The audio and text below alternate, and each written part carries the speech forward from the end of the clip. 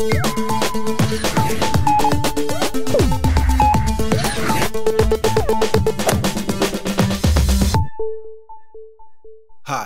I'm Kenny Gioia. Welcome to another one of my tutorials. In this video, I'm going to show you the monitoring modes in Reaper. I have a track in front of me here, and I want to record some guitar. So I have my input set up right here, to where my guitar is plugged in, right here. And I'm going to go into record so I can record a guitar part. But if I play my guitar, watch what happens. I can see it on the meter right here, but I'm not actually hearing it. Because by default, Reaper has monitoring turned off. Here's the button right here. So here's grayed out. And you can see the tooltip in yellow saying record monitoring is off. So what we want to do is click it once, and that changes the mode to be on. See the tooltip now? Record monitoring on. So now if I play my guitar, I see the meter move, but I also hear the guitar. Now if I go back to the first mode by clicking this twice, if I actually record the guitar, watch what happens. Again, we don't hear it, but I see it in the meter and we see it's being recorded. So it's still being recorded. And if I play it back, I can then hear it. So in this mode, with monitoring turned off, it's useful for when you're monitoring through a console or if you're using software that came with your audio interface that allows direct monitoring, low latency monitoring. If you're using any of those things, you might want to leave this off. But if you want to monitor through Reaper as you're recording, you're going to want to leave this on. So you can hear your guitar through Reaper when you're actually recording it.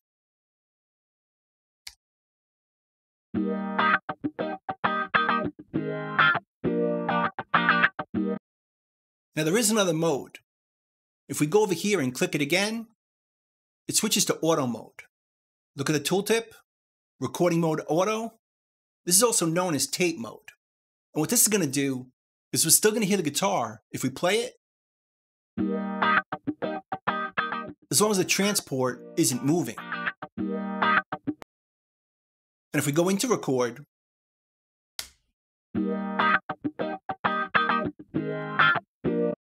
we're also going to hear it. But if we just hit play and play the guitar, see the meter's moving? It's obviously not recording, and we also don't hear it. We're only going to hear it if we're in record. Check it out. I'll hit play, then I'll punch in, punch out, and we don't hear it. So in this mode, we only hear the guitar or any input while we're recording. And let me show you why that's useful. Let's say we recorded a part and we wanted to punch in after the fact. Let's record a bit.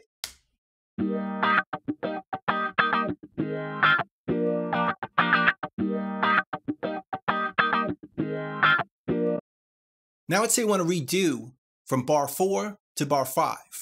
We want to punch that in. If we switch this to monitoring on, but not auto mode, we're going to hear our guitar as we're ready for the punch. So we're going to hear two guitars.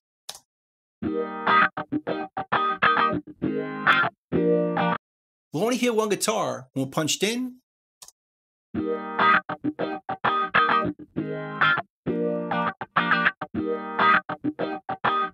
But when we're punched out, we're going to hear both. And if you don't want that, just switch this to auto mode or tape auto mode.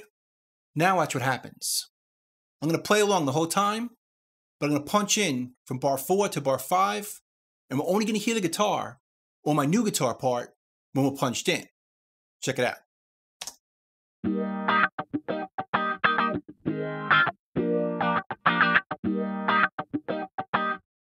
So in this mode, I only heard input on my live guitar in this section right here. All the other times, I heard the previous recording that was already on the track. So that's the difference between the different modes. And you can toggle them just by hitting this button from off to on to tape auto mode. But you could also right click to switch them. If we right click this button, you can see right here, monitor input, tape auto style, or if we turn it off, there's no monitoring at all when neither one is checked. Now by default, if we create a new track in Reaper, let's double click down here, we can see that monitoring is turned off. Obviously you can switch it each time to on and auto mode, but if you have a preference, we could change the default in Reaper's preferences. Let's delete this track. Let's go to our preferences over here, preferences, and we'll go down on the project to track send defaults. Right over here, we could choose the preference for new tracks. If we click it, we see it says it right here. This setting below will be applied to new tracks.